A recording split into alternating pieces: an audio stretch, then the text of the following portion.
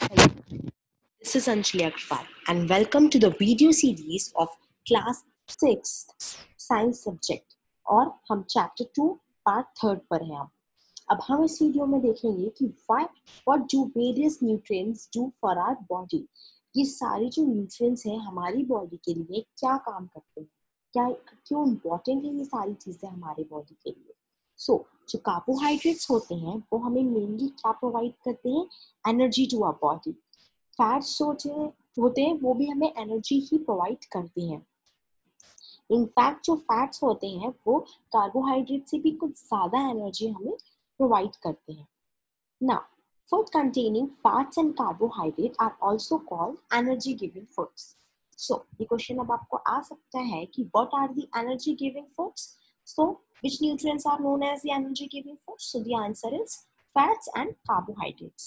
यदि मैं आपको एक ब्रीफ करूँ तो मैं आपको बता रही थी कि न्यूट्रिएंट्स कौन से कौन से होते हैं? Carbohydrate fat protein vitamin mineral ये सारी चीज़ें होती हैं। अब, हमें देखना है कि जो फैट और कार्बोहाइड्रेट्स है, ये हमारी क्या है? एनर्जी गिविंग फ़ूड है। प्रोटीन्स जो होते हैं, वो हमारी ग्रोथ के लिए इंपॉर्टेंट होते हैं।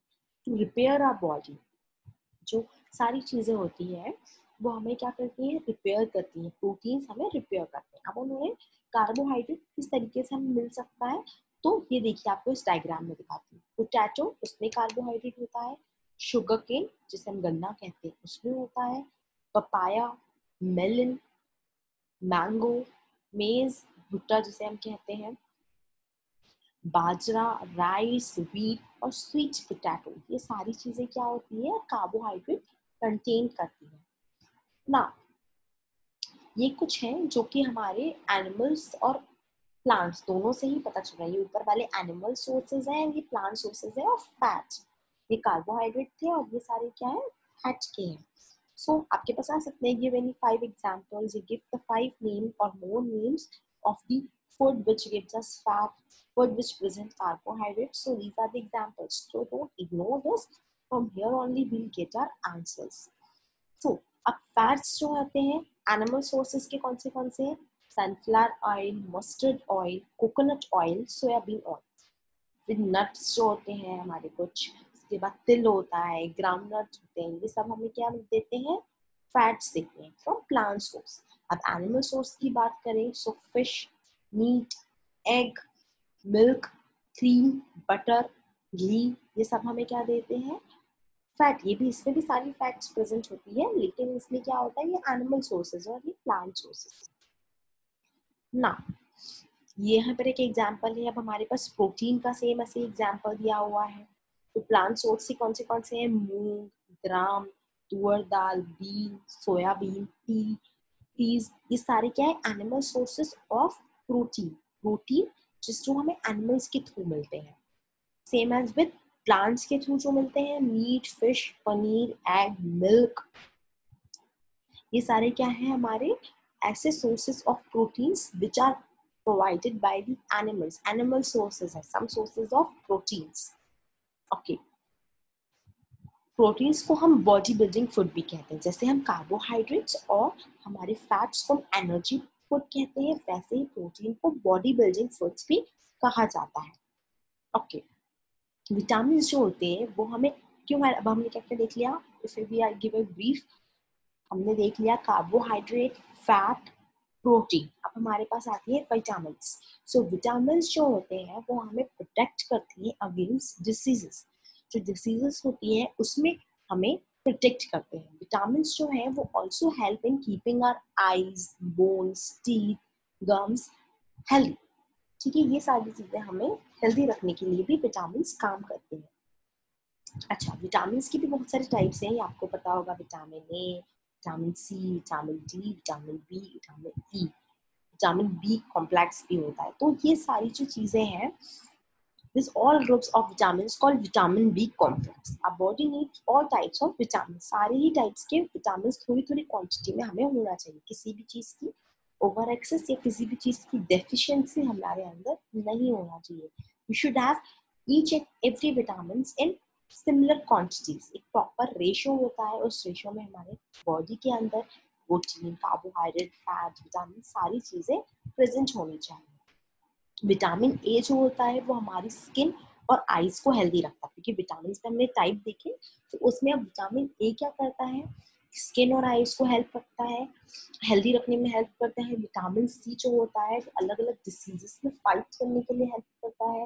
विटामिन डी जो है, वो हमारी बॉडी में कैल्शियम देता है और जो कि विटामिन होते हैं डिफरेंट डिफरेंट विटामिन वो हमारे फ़ूड में ही एंट्रेच होता है। इट्स नॉट लाइक हमें मेडिसिन लेनी ही पड़ती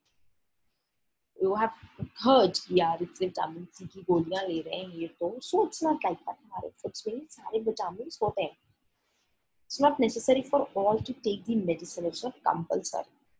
Now, minerals are needed by our body in small amounts. Which each one is essential. जो मिनरल्स भी हैं मतलब सारी चीज़ें एसेंशियल है हमारी बॉडी के लिए हर एक रेशो में होना चाहिए अब देखिए इसमें फिगर दिया है कि विटामिन ए के कौन से कौन से सोर्सेज हैं so milk fish oil mango carrot papaya ये सारे क्या हैं विटामिन ई e के सोर्सेज हैं यदि हम विटामिन बी मतलब हमसे कैसे विटामिन ए मिलता है सो इन सारी चीज़ों से पपाया कैरेट मैंगो से देखिए, इसमें कोई घबरानी है, ऐसी बात नहीं कि अरे, इतना सारा होता है इतने सारे फ्रूट्स के नाम, इतने सारे विटामिन के नाम। नो आप यदि इसको ध्यान से और हमारी डेली लाइफ से यदि आप इसको जोड़ते हुए प्रैक्टिकली समझेंगे तो it will be very easy for you to learn even you have to learn आपको यही ध्यान में रहेगा कि ये सारी चीज़ें कैसे कैसे मिलती है।